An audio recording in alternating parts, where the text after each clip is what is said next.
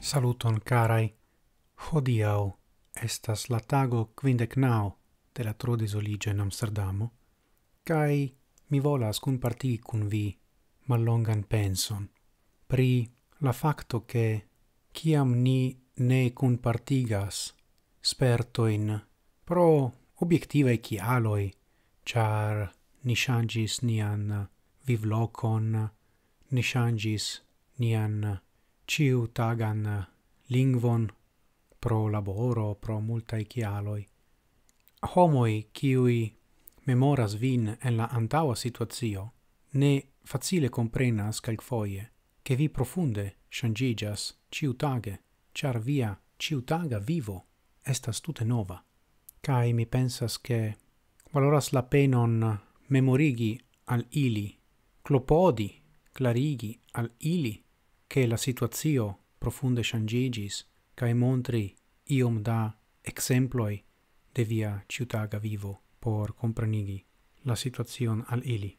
Sed ancau samtempe oni devas antau vidi che citiu clopodo povas malsuccessi, sed ien la vivo ni ne ciam successas. Do, restu cun ni, cun meditu, cun ni. Dankon. Mine compre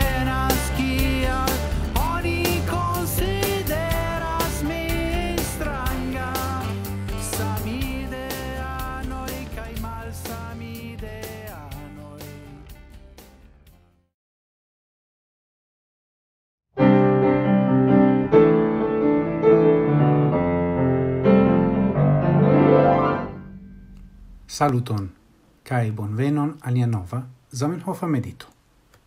Hodio mi legos el la originala vercaro, cae mi electis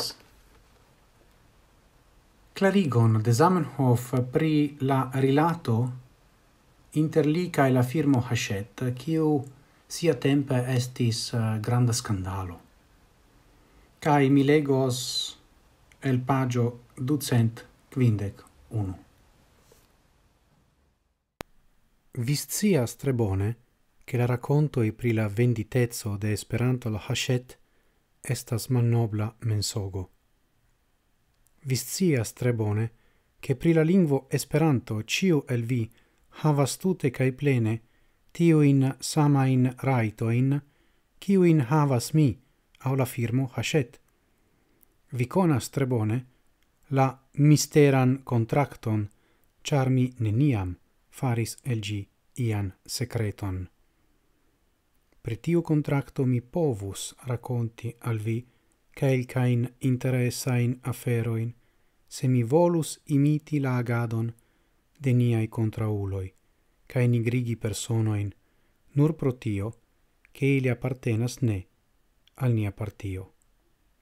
Nun, Mi nur ripetos al vi tion, kion ciui scias, tio estas, la tute terura, mistera cae crima contracto, consistas sole cae exclusive nur en tio, che mia in persona in libro libroin, ne gazeta in articolo articoloin au ion similan, sed exclusive nur libroin, mi promesis publicigi ciam per la firmo Hachette.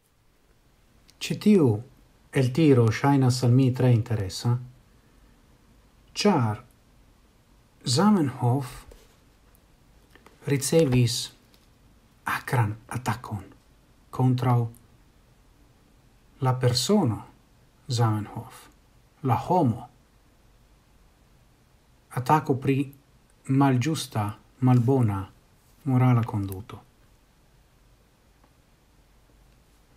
Cae cion li faris? Li clarigis, cae poste li diris cion li ne faris. Li ne malaltigis il nivelo de la attaccanto e kiu ciui la contra ulo i facte, li diris, ciui volas nigrigi personon hodiaŭ ni ne povas plu diri nigrigi personon, sed vi comprenas la aferon.